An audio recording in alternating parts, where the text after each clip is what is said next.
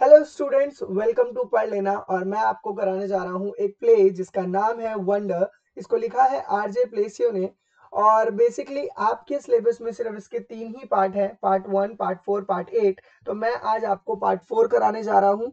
जिस पार्ट का नाम है why I did not sit with August the first day of the school मैं क्यों ऑगस्ट के साथ पहले दिन नहीं बैठा स्कूल के? यहाँ पर आई कौन है? बेसिकली आई यहाँ पर है जैक विल जैक विल के बारे में मैंने आपको कैरेक्टर स्केच के अंदर बताया था। जब मैंने आपको इंट्रोडक्शन कराया था, अगर आप लोगों ने वो इंट्रोडक्शन की वीडियो नहीं देखी है तो प्लीज़ अभी जाके चेकआउट करो। तब ये पढ़ो तो आपको अच्छे से समझ आएगा। जैकविल बेसिकली वो बच्चा होता है, उन तीन बच्चों में से वो बच्चा होता है, जिसको मिस्टर टशमन अगस्त के पास भेजते हैं और अगस्त को पूरे स्कूल का ब्यौरा देने के लिए बताते हैं। तो हमारे पास तीन बच्चे कौन थे? तो मैं बताता हूँ। पहला था यही जैकविल जो बाद में अगस्त का बेस्ट फ्रेंड और अच्छा फ्रेंड बन जाता है। दूसरा था जूलियन जो बेसिकली अगस्त को बहुत ज़्यादा बुली करता है। और तीसरी होती है शार्लॉट जो बहुत ही ज़्यादा बातूनी लड़की होती है। मैं आपको सजेस्ट करूँगा कि इसकी पिक्चर देखिए, ये आपको यूट्यूब पे भी मिल जाएगी या फिर आप कहीं पे भी, कहीं से भी डाउनलोड करके देख सकते हो। इस पिक्चर का नाम भी वंडर ही है, ठीक है? तो यहाँ पर हम जैकविल का पॉइंट ऑफ़ व्यू देखने वाले हैं इस चैप्टर के अंदर कि वो क्या बताता है अगस्त के बारे में? और वो जो पहले दिन आया था अगस्त तो उसके बारे में इसकी क्या फीलिंग थी? ये क्या करना चाहता था? ठीक है? तो चलो स्टार्ट करते हैं। Why I didn't sit with August the first day of the school तो जैकविल बोल रहा है कि क्यों मैं नहीं बैठा ऑगस्ट के साथ first day of the school तो वो अपना रीजन बता रहे कि क्यों नहीं बैठा? Okay I am total hypocrite तो जैकविल कहता है कि, माना मैं बहुत ज़्यादा हिपोक्रेट हूँ, मैं बहुत ही बड़ा हिपोक्रेट हूँ। हिपोक्रेट मतलब दोगला मतलब कि दो बातें करता है वो मतलब ये भी करता है, वो भी करता है, दोनों बातें करता है तो उसको हिपोक्रेट कहते हैं। I know that very first day of the school I remember seeing August in the cafeteria मुझे अच्छे से याद है कि मैं और मैंने ऑगस्ट को फ़र्स्ट डे स्कूल में कैफेटेरिया की तरफ़ जाते हुए देखा था। कैफेटेरिया क्या होता है?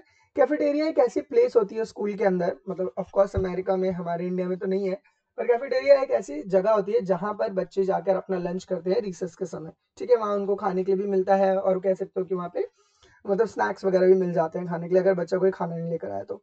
Everybody was looking at him तो उस समय क्योंकि अगस्त नया नया गया था उस स्कूल के अंदर तो सभी लोग अगस्त को बहुत ज़्यादा घूर के देख रहे थे। टॉकिंग अबाउट हिम उसके बारे में लोग बात भी कर रहे थे। Back then no one was use to his face उस समय क्योंकि वो पहली बार आया था, नया नया आया था, और लोगों ने ऐसा फेस ऑगस्ट जैसा फेस किसी ने नहीं देखा था तो लोग उसके बारे में बात कर रहे थे, उसको देख रहे थे, और किसी को नहीं पता था कि वो उसके मतलब यूज़ टू नहीं थे उसके फेस से। और even knew that he was coming to Beecher Beecher क्या है? तो इट इज़ अ स्कूल ठीक है? स्कूल जहाँ पर ऑगी जाता है। मैंने आपको इंट्रोडक्शन बता रखा है। तो किसी को भी नहीं पता था कि वो बीचर स्कूल में पढ़ने आ रहा है। So it was a total shocker for a lot of people तो हर एक बच्चे के लिए ये बहुत ही बड़ा क्या था? शॉकर था। शॉकर मतलब कि बच्चे बहुत सरप्राइज़ भी थे, साथ के साथ शॉक थे अम्यूज थे बहुत ज़्यादा कि ये हमारे स्कूल में पढ़ने आया है। ठीक है? On the first day of the school वही फ़र्स्ट डे पर most kids were even afraid to get near him बहुत सारे बच्चे तो उसके पास जाने से भी क्या कर रहे थे? डर रहे थे। अफ्रेड मतलब डरना। तो वो डर क्यों रहे थे? क्योंकि उनको लग रहा था कि एक तरह की बीमारी है जो उसके फेस पर है और अगर उसको छू लेंगे तो शायद ये बीमारी उनको भी हो जाएगी। अगर आप मूवी देखोगे तो आपको समझ आएगा कि क्यों लोग इसके पास नहीं आते क्यों बच्चे इसके पास नहीं आते और कई लोग तो शायद डर भी रहे थे उससे यू नो उसके फेस से। और जूलियन तो मज़ाक ही बना रहा था वो तो बुली था। अगला। So when I saw him going into the cafeteria ahead of me, I knew he would have no one to sit with. तो यहाँ पे जैक कह रहा है कि मैंने जब देखा उसे कि वो कैफेटेरिया में मेरे से पहले जा रहा है तो मुझे पता था कि उसके साथ कोई भी नहीं बैठेगा। No one will sit with him क्यों उसको पता था ये चीज़? क्योंकि हर एक बच्चा उसके बारे में बात कर रहे थे कर रहा था और उसके साथ कोई बैठना या यू you नो know, उसके पास जाना नहीं चाहता था। But I just couldn't bring myself to sit with him पर पता नहीं क्यों मेरा भी मन नहीं किया उसके साथ बैठने का। तो यहाँ देख सकते हो कि अगर एक इंसान के साथ कोई कमी है या कुछ हुआ है उसको तो लोग उसको कितना अपने आप से नेग्लेक्ट कर देते, दूर कर देते कट ऑफ़ कर देते। I had been hanging out with him all the morning हालाँकि मैं पूरे दिन उसी के साथ था। लॉन्ग बहुत समय तक था because we had so many classes तो अमेरिका में क्या होता है कि जैसे आपने कोई सब्जेक्ट चूज़ किया तो आप उस सब्जेक्ट की क्लास में जाके बैठकर पढ़ते हो।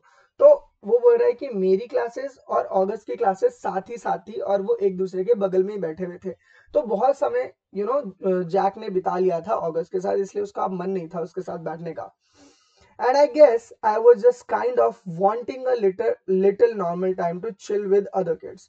अब वो हमें रियल बात बता रहा है कि शायद मेरा मन था कि वो ऑगस्ट के साथ ना बैठे और वो एक नॉर्मल यू नो टाइम बिताना चाहता था क्योंकि ऑगस्ट के साथ बैठना, लोगों की नज़रों में आना ऑगस्ट के साथ जाना, घूमना तो लोगों की नज़रों में आना तो वो एक नॉर्मल टाइम चाहता था दूसरे बच्चों के साथ चिल करने के लिए, मज़े करने के लिए, इसीलिए वो ऑगस्ट के साथ कैफेटेरिया में नहीं बैठता है। So when I saw him move to the to a table on the other side of the lunch जब लंच में वो एक टेबल पे जाके बैठ जाता है ऑगस्ट ऑगस्ट जब बैठ जाता है तो ये चीज़ किसने देखी? जैक ने देखी। I purposely found a table as far away from there as I could तो उसने पर्पसली बोला कि मैंने जानबूझ के उससे जितनी भी ज़्यादा दूर हो सकती, जितनी ज़्यादा दूर हो सकता था, जितनी जितनी भी ज़्यादा दूर, उतनी ज़्यादा दूर जाके मैं बैठा। क्योंकि वो नहीं चाहता था अगस्त के साथ बैठना और कह सकते हो कि वो नहीं चाहता था लाइमलाइट में आना, लोगों की नज़रों में आना। इसीलिए उसने, वो अगस्त के साथ नहीं बैठा लंच के समय और वो दूसरे बच्चों के साथ बैठा। I sat down with Isaiah and Luca तो यहाँ पे दो और करेक्टर इंट्रोड्यूस हुए जो बेसिकली इंपॉर्टेंट नहीं है even though I would never met them before तो बोले कि मैं जाकर किसके साथ बैठा? आइजिया के साथ बैठा और ल्यूका के साथ बैठा। हालाँकि इससे पहले वो कभी भी मिले नहीं थे मतलब कि आइजिया ल्यूका से कभी भी जैक मिला नहीं था। And we talked about baseball उन लोगों ने बेसबॉल के बारे में बात करी होल टाइम पूरे लंच के time and I played basketball और वो बास्केटबॉल भी उन्होंने खेला। With with time at recess recess क्या होता है? लंच में लंच टाइम में जब खाना खाने के बाद आप खाली समय तो आप खेलते हो ना? तो वही चीज़। तो खेलने के लिए उन्होंने बास्केटबॉल खेला।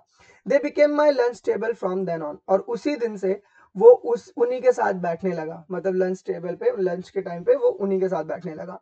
आई हर्ड समर मैंने समर को बोलते हुए सुना।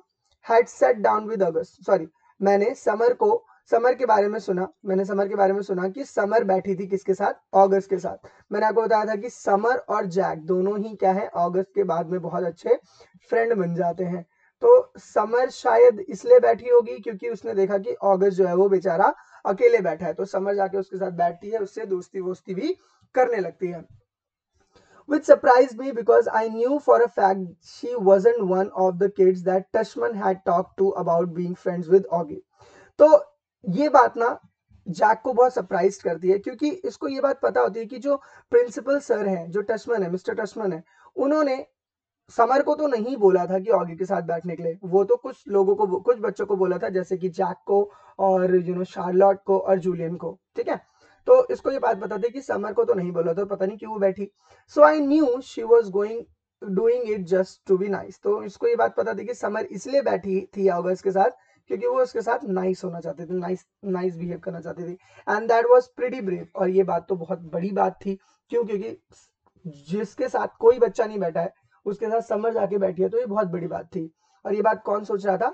आई थॉट मतलब कि जैक सोच रहा था कि तो काफ़ी बड़ी बात हो गई कि समर जाके बैठी थी you know so now there I was sitting with Summer and August अब अब मतलब वो दोस्त बन गया है किसका? समर का भी और ऑगस्ट का भी, ऑगस्ट का भी। दोनों, तीनों दोस्त बन गए हैं।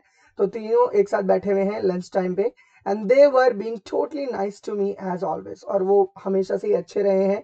जैक के साथ ऑगस्ट तो काफ़ी ज़्यादा अच्छा रहा है जैक के साथ और समर तो रही है ठीक है? तो दोनों ही बहुत अच्छे से रहे जैक के साथ and I filled them in about everything Charlotte had told me और फिर मैंने उनको सारी बातें फिल देम मतलब उनको सारी बातें बता दी जो शार्लोट ने बताई थी मुझे। अब क्या बातें बताई थी वो तो आपको नॉवल पढ़ के ही पता चलेगी अच्छे से। Except for the whole big part about my having snapped हाँ बट मैंने एक बात नहीं बताई थी जो मुझे बतानी चाहिए थी। मतलब कि जैक ने बेसिकली यू नो लोगों यू नो ये पीयर प्रेशर होता है यू you नो know, जब वो जूलियन और उनके ग्रुप में था तो जैक ने ऑगस्ट के बारे में कुछ बुरी बुरी बातें बोली थी। You know under the pressure वही बोला ना under the pressure of being Auggie's friend क्योंकि यू you नो know, उसको लोग प्रेशर करते थे तो ऑगी का फ्रेंड है कैसे इंसान का फ्रेंड है? मतलब उसका फेस देखा है। तो इसने भी ना ऑगस्ट के बारे में कुछ गलत बोल दिया था। और the part about Julian's mom saying Auggie had special needs और एक और बात नहीं बताई उसने कि जूलियन की मॉम जूलियन जो था वही बुली बुली की जो मॉम थी उसने बोला था कि ऑगी ना थोड़ी सी स्पेशल नीड्स की ज़रूरत होती है मतलब उसको थोड़ी सी स्पेशल चीज़ों की ज़रूरत होती है। और the part about the school board और उसने स्कूल बोर्ड के बारे में भी नहीं बताया। स्कूल में बात हुई होगी आगे के बारे में कि ऐसे मतलब यू नो पेरेंट्स ने कंप्लेन की होगी कि ऐसे बच्चे नहीं पढ़ने चाहिए। हमारे बच्चों के साथ मतलब ऑगी जैसे बच्चे, क्योंकि उनका फेस वैसा है, बच्चे डर जाते हैं, बच्चों को अच्छा नहीं लगता। तो ये बातें जूलियन ने नहीं बताई। जो, वो बातें जो ऑगी को हर्ट कर सकती थी, वो बातें सॉरी वो बातें जैक ने ऑगी को नहीं बताई, जो बातें ऑगी को हर्ट कर सकती थी। नेक्स्ट क्योंकि वो एक अच्छा फ्रेंड बन रहा बन रहा था। I guess all I really told them बस मुझे इतना याद है कि मैंने क्या उनको बताया about was how Julian had had a holiday party मैंने उनको बताया कि कैसे जूलियन ने अपनी हॉलीडे की पार्टीज़ की, ठीक है, जो विंटर ब्रेक्स होती हैं। And manage to turn the whole grade against me और उसने बेसिकली सारे बच्चे को मेरे अगेंस्ट कर दिया। किसके अगेंस्ट कर दिया था जूलियन ने? तो इसके अगेंस्ट मतलब कि जैक के अगेंस्ट कर दिया था। इट फील सो वियर्ड और बोलता है कि मेरे को बहुत अजीब लग रहा है कि कोई इंसान मेरे से बात नहीं कर रहा, कोई बच्चा मेरे पास नहीं आ रहा। आई सेड ये बात मैंने किससे बोली? ऑगस्ट से बोली। और फिर मैंने उससे ये बोला बोला कि to to not have people talking to you pretending you don't even exist जब बच्चे तुमसे बात ही नहीं करते, लोग तुमसे बात ही नहीं करते और इस तरीके से प्रिटेंड करते हैं कि तुम इस दुनिया में एग्जिस्ट ही नहीं करते। ये बात मैंने जब ऑगी को बोली कि मेरे को बहुत बुरा लग रहा है कि लोग मेरे से बात नहीं करे बच्चे मेरे से बात नहीं करे ऐसा लग रहा है कि मैं हूँ ही नहीं इस दुनिया में। ऑगी स्टार्टेड स्माइलिंग ऑगी जो है वो इस बात को सुन के स्माइल करने लगता है और फिर वो बोलता है यू थिंक तुम्हें बस लग रहा है ये चीज़? He said sarcastically welcome to my world उसने सार्केस्टिकली ये बोला कि वेलकम टू माई वर्ल्ड ऐसा क्यों बोला? सार्केस्टिकली का मतलब होता है कि बोलते हम कुछ है और मीनिंग कुछ और होता है। तो बेसिकली यहाँ पे जब जैक बोलता है कि बच्चे मेरे से बात नहीं कर रहे हैं और मेरे को बड़ा अजीब लग रहा है यू नो लोग मेरे से बात नहीं कर रहे जो मुझे जानते हैं वो भी मुझसे बात नहीं कर रहे ऐसा लग रहा है कि मैं इस दुनिया में एग्जिस्ट ही नहीं करता हूँ। तो ऑगी ये बात सुनकर स्माइल करता है बोलता है कि वेलकम टू माई वर्ल्ड इसका मतलब यही है कि ऑगी को ये चीज़ तो पहले से ही फील हो रही है, क्योंकि उससे कोई बात ही नहीं करता, उसके पास कोई आता ही नहीं। तो ऑगी इसीलिए बोलता है जैक को कि वेलकम टू माई वर्ल्ड क्योंकि मेरे साथ तो रोज ही होता है ऐसा। तुम्हारे साथ तो अभी हो रहा है, मेरे साथ तो रोज ही होता है कि मेरे को लोग ऐसे देखते हैं, मेरे पास ऐसे आते ही नहीं कि ऐसा लगता है कि मैं एग्जिस्ट ही नहीं करता इस दुनिया में। तो ये थी ऑगी की फीलिंग और ये थी जैक की फीलिंग ऑगी के टूवर्ड्स और लास्ट में समर जैक और ऑगी बहुत ही अच्छे फ्रेंड हो जाते हैं और ये था जैक का ओवरव्यू आई होप आपको ये चैप्टर अच्छे से समझ आया हो। अगर इस चैप्टर से रिलेटेड आपको थोड़ा सा भी डाउट है तो आप मुझे कमेंट सेक्शन में पूछ सकते हैं और ऐसी और भी वीडियोस के लिए आप प्लीज़ मेरे चैनल को सब्सक्राइब कीजिए लाइक कीजिए मेरी वीडियोस को शेयर कीजिए अपने दोस्तों के साथ ज़्यादा ज़्यादा सो दैट की मेरे सब्सक्राइबर बढ़े और मैं और भी ज़्यादा मोटिवेट हो जाऊँ और मैं और भी ऐसी वीडियोस आपके लिए लाता रहूँ। तब तक के लिए बाय मिलते हैं नेक्स्ट क्लास के अंदर और आप इसकी मूवी ज़रूर देखिएगा, आपको अच्छा लगेगा और आपको ये जो चैप्टर है और अच्छे से समझ आ जाएगा।